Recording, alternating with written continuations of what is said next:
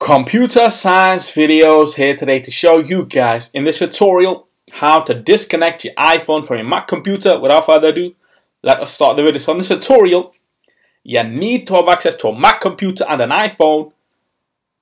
Then you must connect the iPhone to the Mac.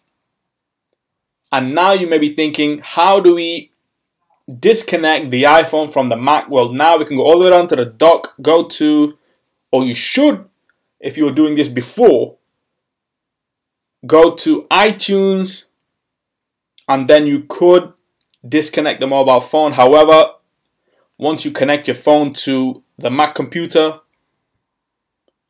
you would now open up Finder. And there on the left hand side navigation menu we see iPhone locations. Click on iPhone. It's the same way as we would do in iTunes. However after Apple's updates changing iTunes to music now after connecting the phone, you would open up Finder to see all your sync information. Click on eject. And now the iPhone has been disconnected from the Mac computer. Close Finder.